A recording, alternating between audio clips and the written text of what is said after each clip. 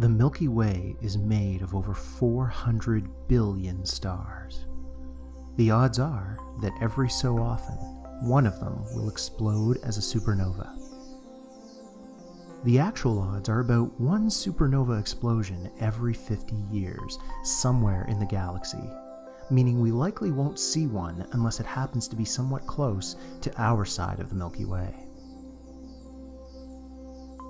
The odds of this are a bit lower, but every few million years or so, Earth should see a big, bright, powerful supernova. When a supernova explodes, heavy elements are rapidly formed and flung out into interstellar space.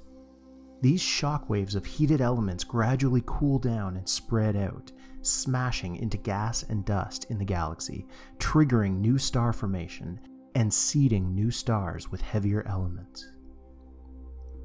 One of the rare elements formed only in supernova explosions are the radioactive isotopes iron 60. These decay in millions of years, but before they do, they can act as a tracer for astronomically recent supernova explosions. The amazing thing is, Earth has deposits of iron 60 all over the surface and even beneath the ocean.